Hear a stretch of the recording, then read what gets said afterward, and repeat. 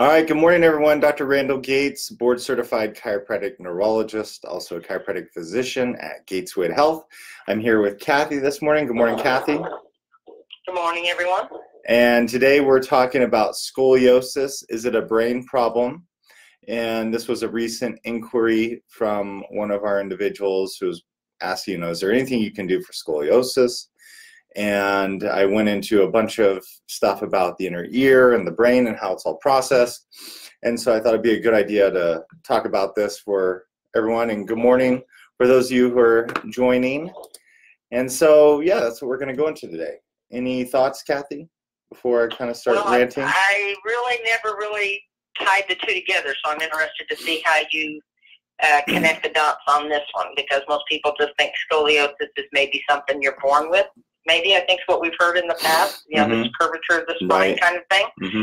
So, um, why don't you tell us what the brain has to do with the spine? So, the brain and our cerebellum, our cerebellum controls our balance. It controls many things, really. It controls limb movements, things like this. You've all seen somebody and they go to reach for something and their hand shakes a little bit. Not a Parkinsonian tremor. So, Parkinsonian tremor is they're sitting. Mm, let me see if I can bring the camera down a little bit. They'll be sitting and their hand will be shaking at rest. Whereas cerebellar tremors more involve someone who's going to pick up the phone and their hand is shaking like this, and then they set the phone down and their hand is still. So the cerebellum also coordinates our thoughts, it coordinates our eye movements, and in learning neuroscience and neurology, it's really interesting because the cerebellum, the same pathways that control our eye movements also control our spine and our postural muscles. Now, these postural muscles are really important for things like balance. So you're walking along, you start to twist your ankle, but you catch it, but you kind of fall, but you're able to catch your balance. Well, that's a postural response. Or somebody, I don't know, there's a famous celebrity who was in, I think, South Africa recently. I don't know if you saw this online, Kathy, but you know, they're talking to the crowd and then they get kicked from behind. Well, the postural response is you got to save your balance. That's all inner ear mediated. And it's it's actually a pretty elaborate system. It's one of the most elaborate systems, in my opinion, in the brain. Your inner ear sends 1 million signals a second into your brainstem. So your inner ear nerve is firing at 1 million signals a second into your brainstem. And if there's an asymmetry in how your cerebellum is filtering that inner ear input, then that can affect your spinal posture. And that's what they're thinking with scoliosis. So, Kathy, you mentioned that it's a, a problem from birth they're actually realizing that scoliosis patients, their inner ear forms a little differently at birth. That's one new finding. Okay. So we have, and I was thinking this morning, unfortunately, I don't have a great diagram of the inner ear, but think of, you know, like kind of like this. So here's a little, whatever, mouse keypad charger, uh, USB charger. Your inner ear has three of these and they're called canals, and they're oriented at different angles. And these canals have fluid in them. So if you turn your head, the fluid moves in the canal, and then there's this little sail mechanism that's a receptor that can tell is the fluid moving this way or is it moving that way. And that tells your brain what direction your head is turning. And that's why if you turn your head, your eyes will move reflexively within a matter of a few milliseconds. Whereas if I turn my head and I tried to move my eye, it would take like 200 milliseconds rather than 13 milliseconds. So it's a really fast system. Well, I say all that to say, these canals, you have three of them. You have a horizontal, you have an anterior, and you have a posterior in the inner ear. The horizontal canal, they're finding forms a little differently in scoliosis patients. Interestingly, primarily on the left-hand side. So they're thinking that maybe that change is changing how the inner ear is firing to the spinal postural muscles. But it goes deeper. And are we good, Kathy? I think that's a good yeah. place to pause. Okay, all that makes sense? Yeah. Okay. So then going deeper, researchers have now been studying basically balance responses in scoliosis patients, finding that they're abnormal, particularly the worse their scoliosis is, it seems like the worse their balance is. Then they've also been doing tests where they'll, for example, put electricity into the neck really quickly or electricity into the inner ear. And they find that scoliosis patients have these robust responses lots of times on one side, again, verifying that the cerebellum is not filtering the inner activity. Now you can see here, uh, for those of us watching the live version, the cerebellum is rather big. Cerebellum actually has as many brain cells in this green structure as you do in the rest of your brain. So it's very dense and compact. And the area right in here, as well as down through here, is called the flocculonodular lobe, and then we have the nodulus and the uvula all in this area. And these areas of the cerebellum are critical for filtering inner ear input. They're also critical for knowing where our head is in relationship to our neck. So I, my fist is representing our neck down here.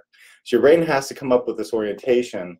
It's called a body head reference frame for where you're at. And they've found in scoliosis patients, if you put them in the dark and you give them basically like a, a laser line level, that their perception of what vertical is is completely not correct, which is majorly an inner ear and cerebellar issue. That's very, very well confirmed. So it's called an abnormal subjective visual vertical. And scoliosis patients have an abnormality there. So they may think that vertical is over here. So as a consequence, they're tilting their head the other direction, trying to compensate for that. So that's basically the nitty gritty on it. Kathy, does that kind of make Does- sense? Well, does, does that have a lot to do with the fact that you just said that this happens a lot in like the left ear and not the other ear? So is that going to throw, I mean, to me, that sounds like, okay, if that's doing it on one side, not the other, that's going to affect balance or even your, your thought of vertical. Yeah, that could, and that could very well be part of it. And then some of the other studies are showing that not only is it the inner ear, but it's a cerebellar processing issue. So it could be both. Now, that one study I referenced about the inner ear being formed abnormally, that was done in children. I haven't really seen that replicated. There's actually way more research on the cerebellum, but it does deserve attention because hopefully more and more people will start looking at that. Another thing I didn't mention scoliosis patients cerebellum down here, bottom of the brain. At the bottom of your skull is a hole called the foramen magnum. And they're actually finding that scoliosis patients need to have an upright MRI. Most MRI scans of the brain or the neck are done with the person laying down. They find that when scoliosis patients stand up, their cerebellum is pulled down lower than it should be. And it's actually a, a pretty significant percentage some of the research I was saying, they were kind of astounded and alarmed, basically making the point that all scoliosis patients need to have this upright MRI. So if you know someone with scoliosis, pay attention to something called Arnold Chiari malformation, as well as just being aware it's called basically the cerebellar nodulus. How how far down is that sitting when they're how far down is that coming down when they're standing up? So if they're, if they're laying down, the imaging isn't going to happen like it does in someone without scoliosis. They've got to stand up. They got to stand up. and are Yeah. there are there machines that are made that way? yeah, actually there are. Okay. Yeah, I believe even the one 100 yards away from us here that was just put in, um, I believe they have standing open air MRI. Yeah. Okay. Yeah. Oh, that's cool. Yeah. So, so that pretty much covers it. We're also seeing that scoliosis patients, for example, if you do MRIs of how thick their brain is, we're finding areas associated with inner ear processing can be less dense. Net some of it, scoliosis, we think it's a spine problem. It can be a spine problem in a rare percentage. I think it's around 15%, where someone will have a deformed vertebra. So rather than it being like a square, it's more like a trapezoid.